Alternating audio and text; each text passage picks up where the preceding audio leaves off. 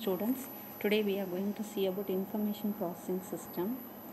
It is first we are going to see what do you mean by computer. Computer is an electronic machine that follow a set of instruction in order that it may be able to accept and gather the data and transform these into information. So the data will be converted into information.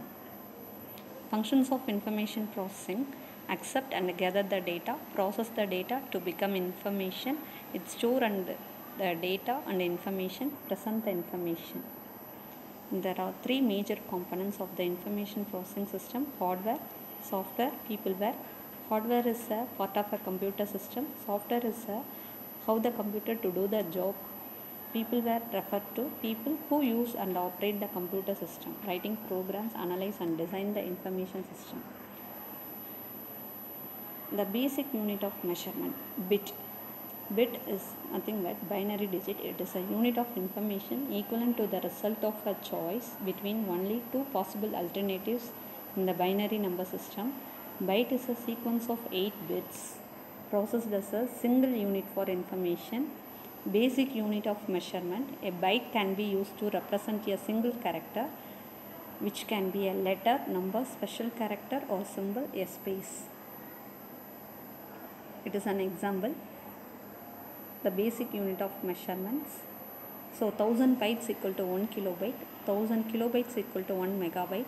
1000 megabyte equal to 1 gigabyte. 1000 gigabyte equal to 1 terabyte. So next we are going to see hardware. What is hardware? Hardware is a part of a computer system. So these are the parts. Hardware it contains central processing unit memory unit input and output devices secondary storage devices. The central processing unit is the brain of the computer. It controls the entire computer system and perform all the arithmetic and logical operations. It is a memory unit. It consists of ram and rom.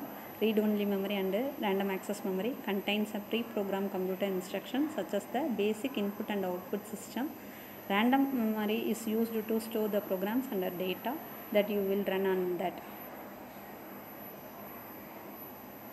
And next we are going to see what are all the input devices and the output devices.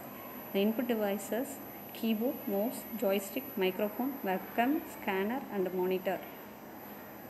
The keyboard it is a traditional flexible keyboard ergonomic keyboard wireless keyboard pda keyboard also there there are two types of mouse mechanical and optical mouse and other point input device trackball track point touchpad and touch screen joystick light pens stylus scanning devices image capturing devices.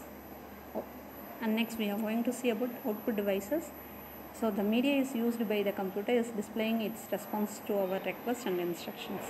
These are called the output devices, monitor, audio speakers and printer.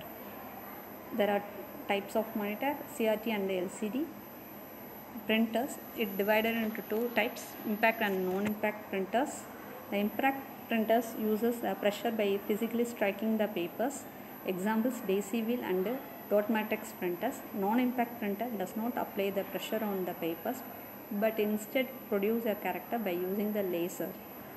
So that is known as a non-impact printer. And next secondary devices attached to the computer system to allow you to store the programs and data permanently for the purpose of retrieving them for future use. Floppy disk, hard disk and CD-ROM. Thank you.